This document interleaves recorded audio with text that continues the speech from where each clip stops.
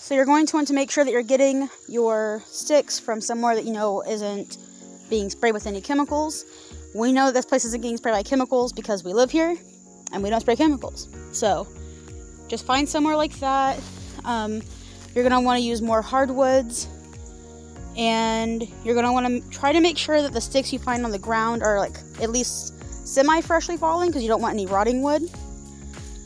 But uh, I recommend bringing some kind of like handsaw because we really want this one, but we have to break it at a certain point and we can't do it with our hands. So we're gonna come back for this when we have a handsaw. So maybe don't be like me and bring a handsaw your first round.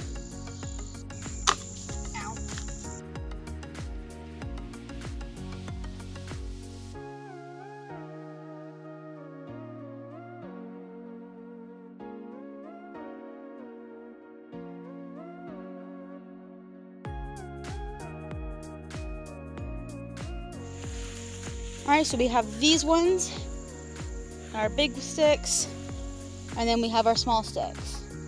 For the small ones, you're want to make sure that they'll fit in your oven. That's the method you'll be using.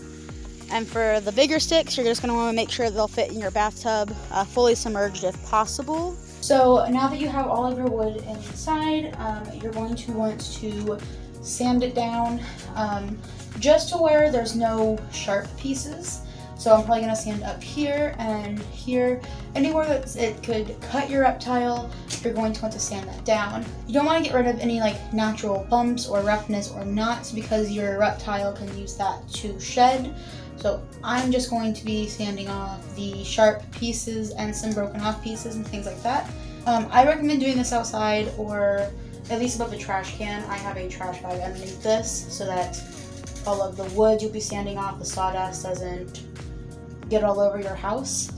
All right, so what I do is I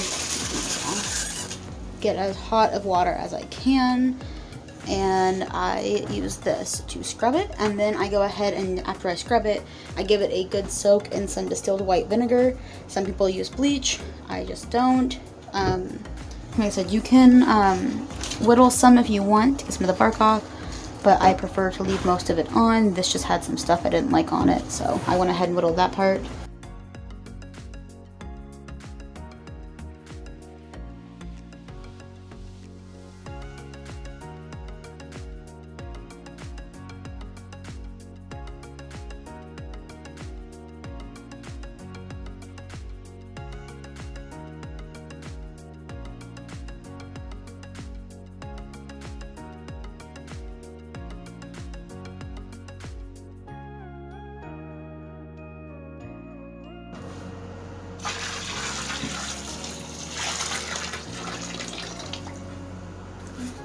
Okay, so we just put our final uh, pot of boiling water over it um, to get to the temperature that I want, and we put uh, some weight over top so that they just they stay submerged. And then we're just going to leave it like this for about 24 hours minimum uh, because we want all that water to really soak to the core of the wood.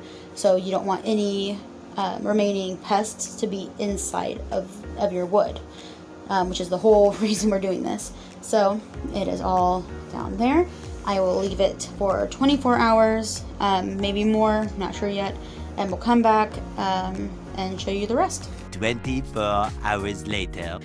Alright, so I drained the water. It has been 24 hours, and I'm just going to rinse it off with, again, really hot water. And I'll probably scrub it a little bit with the scrubber again, and then just set it out to dry.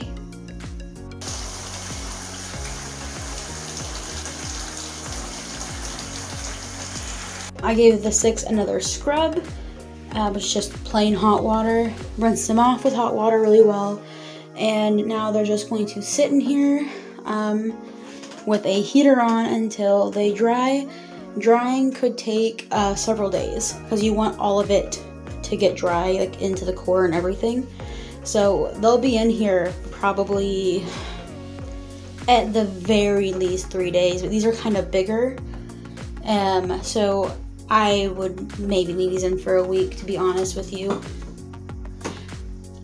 Alright, guys, well, I was gonna film an actual outro, but I've been sick for the past couple days. So, I was gonna mention this in my actual outro, but if you want to use the bleach method instead, um, it's I think one part bleach to 30 parts water or something like that. There's a ton of videos out there on how to do it. Um, just since mine are going in with snails and amphibians, I chose not to do the bleach method. So, um, just go watch a video on it because they'll actually tell you how to do it like properly. Then for baking it, because I wasn't able to show that because I haven't been able to do it yet. Um, if you want to soak and then bake, uh, let your stick dry out, and then you can bake it for at least two hours on 200 degrees Fahrenheit and just uh, check it like every 10 minutes to make sure that it's not like on fire. Just be very careful. Um, you should be fine. I do that with the sticks that will fit in there.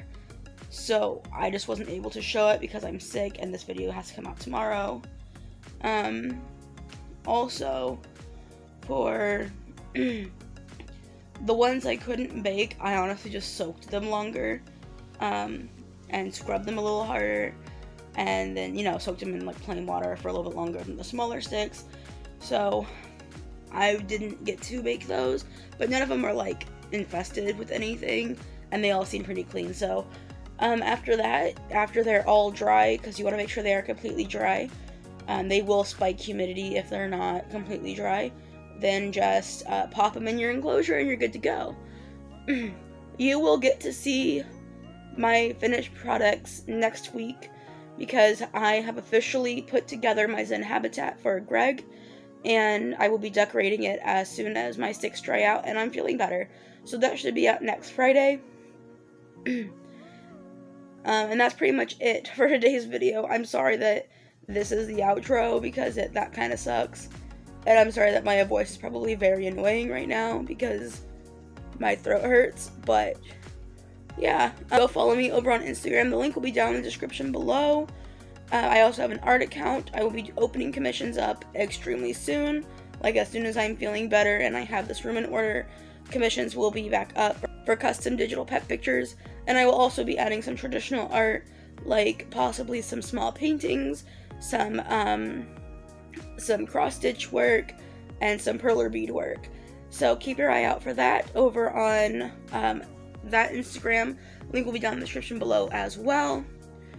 And give this video a like for the algorithm and don't forget to subscribe if you like this kind of content or any animal content really. I post every single Friday at 3 p.m. Eastern Standard Time. But you can hit the bell if you don't want to remember that. And as always, I will see you next week. Bye!